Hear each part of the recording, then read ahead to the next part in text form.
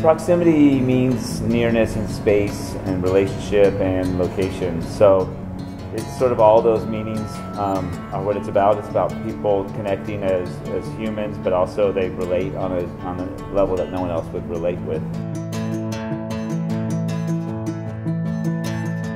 When I paired the surfers together, I was hoping that they were going to be really similar minded. When I got them together, it was incredible how much they were similar. Like John, for example, and Kelly, they're both highly intelligent and they break down everything that they do from their hobbies, from playing chess.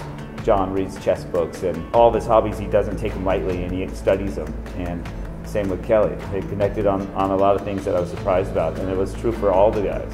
And the whole thing is they are unique of each other as well. And the whole premise of not putting polar opposites together was having these guys connect to represent different sides of surfing potentially.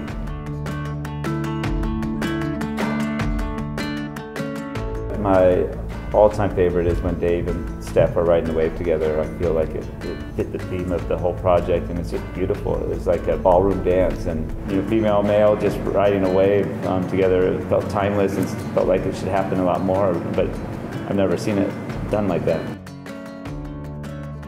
logistics on making this movie was a nightmare. Um, we for we have certain windows with each surfers groups, and we had locations that we really wanted to go to. But for example, Kelly and John, we had January free for them to shoot for it, and if the swell didn't come during that time, we'd have to wait another year to get it because they're they're on tour the rest of the time.